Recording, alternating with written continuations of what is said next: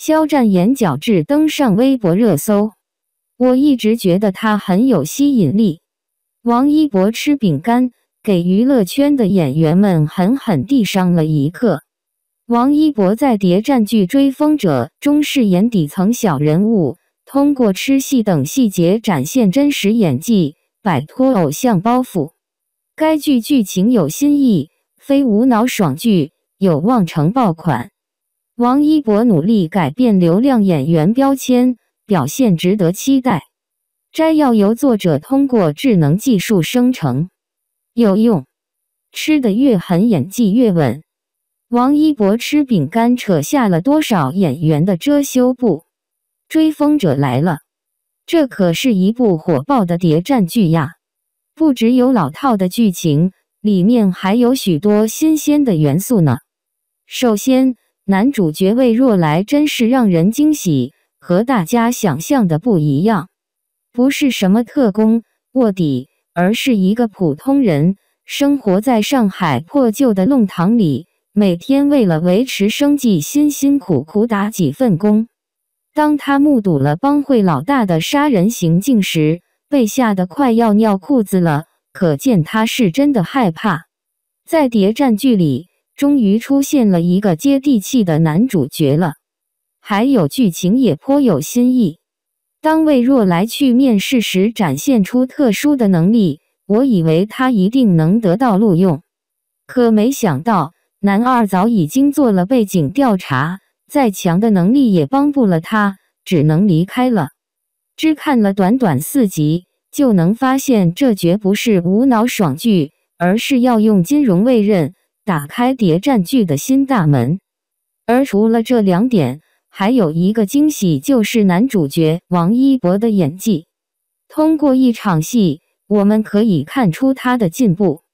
说实话。一开始我对王一博的表演并没有什么期待，觉得他只是来这部谍战剧里玩耍的。但他出人意料的饰演了一个底层小人物，一上场就穿着皱巴巴的破西装，还有那个破洞的袜子，真是让人记忆深刻。他给人的感觉真是火爆十足。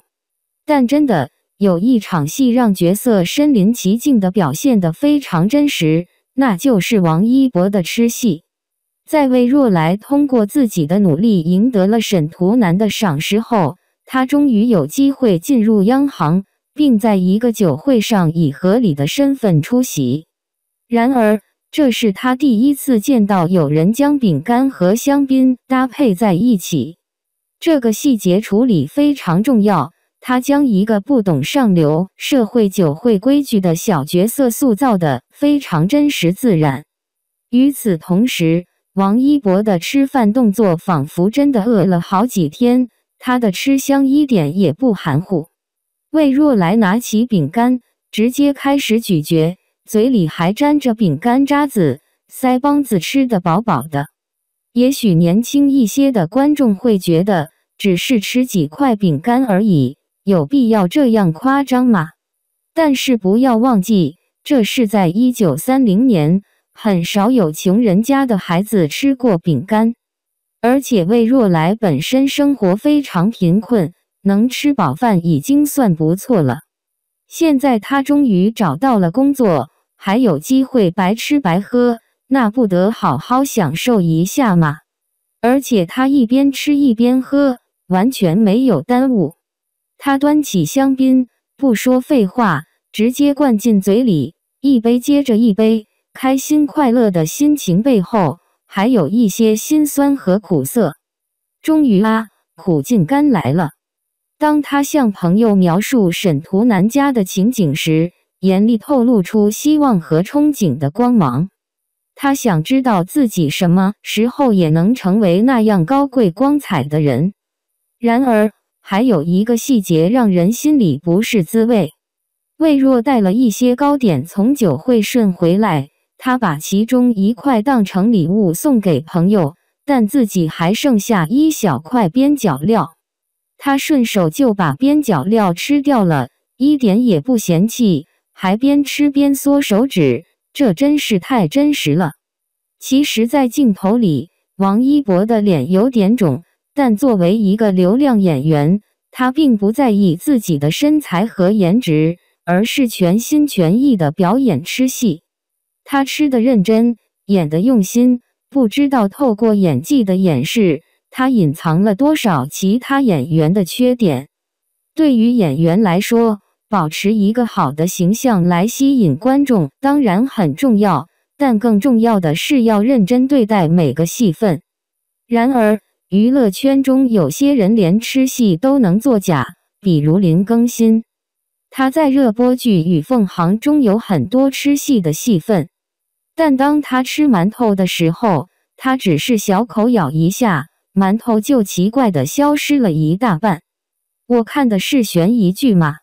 馒头是怎么消失的？而且他连馒头都舍不得吃，更不用说油腻腻的红烧肉了。他随便吃一口，就装出吃的很满足的样子，真是对自己的演技过于自信了，明显是假的吃戏，真是丢脸。还有刘诗诗，在古装剧《一念关山》中，他的偶像包袱太重了，就连吃个小饼干。他都只是轻轻用牙齿咬一下，饼干很快就碎了。关键是，虽然吃的很少，但他还要一个劲的咀嚼。难道那个时代的饼干还有嚼口香糖的功能吗？别开玩笑了，功夫不如琢磨一下自己的演技吧。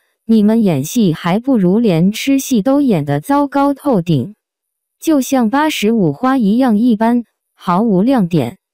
有些演员虽然吃戏，但和假吃没什么差别啊。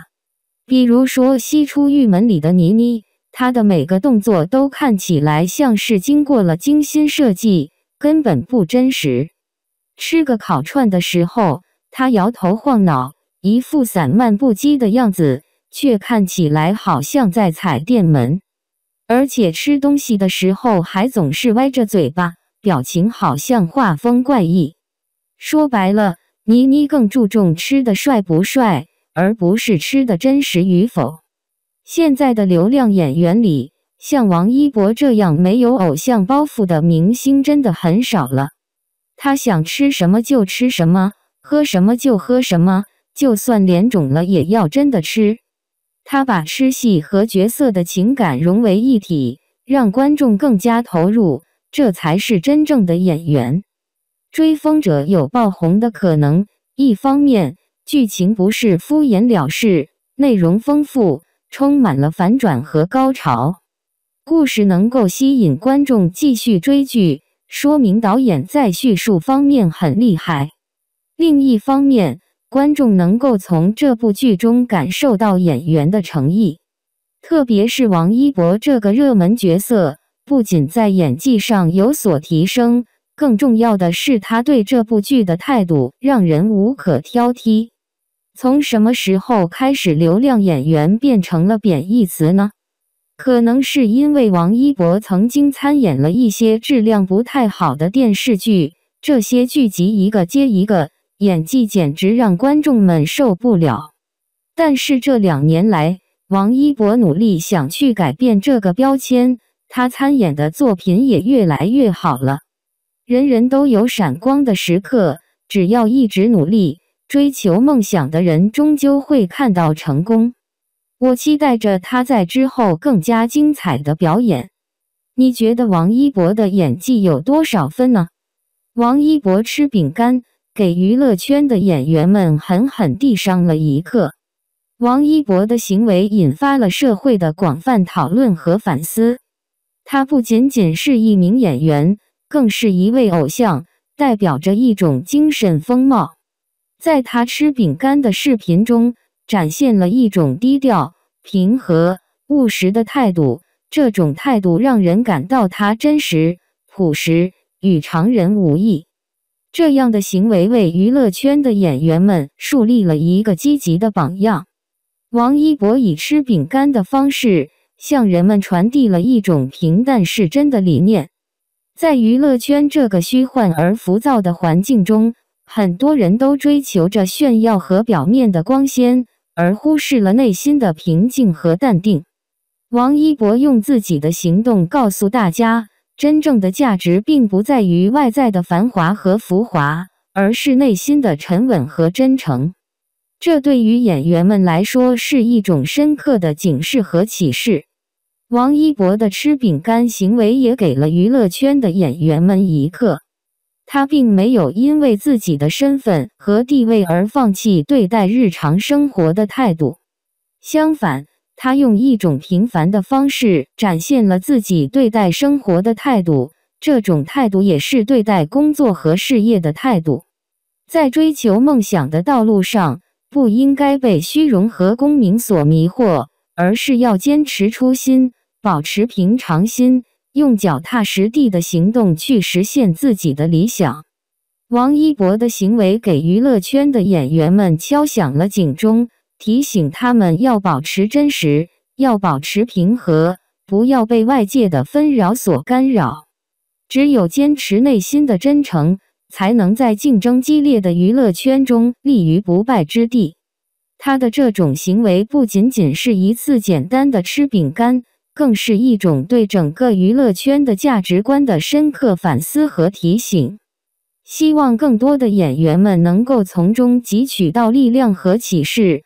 不断提升自己的内在修养，塑造更加真实、深刻的艺术形象，为观众带来更多的精神享受和启示。